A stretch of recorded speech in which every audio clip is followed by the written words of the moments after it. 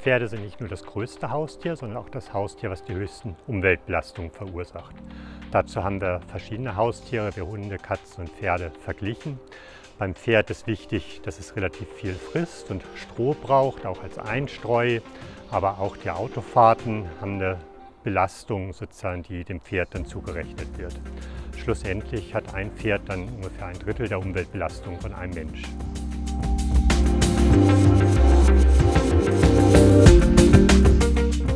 Umweltschutz geht uns alle an. Wir Pferdehalter sind weltweit eine große Community, die viele Möglichkeiten und viel Macht haben, wenn sie etwas bewegen wollen. Wir können mit der Fläche sparsam umgehen, wir können ökologische Baustoffe einsetzen, die wir recyceln können. Holz, Lehm sind hier nur einige Beispiele. Wir können unser Grünland extensiv bewirtschaften und wir können ein Energiemanagement aufbauen, indem wir mehr Energie produzieren, als wir in der Pferdehaltung verbrauchen. Es gibt viel zu tun, viele Möglichkeiten, packen wir es an.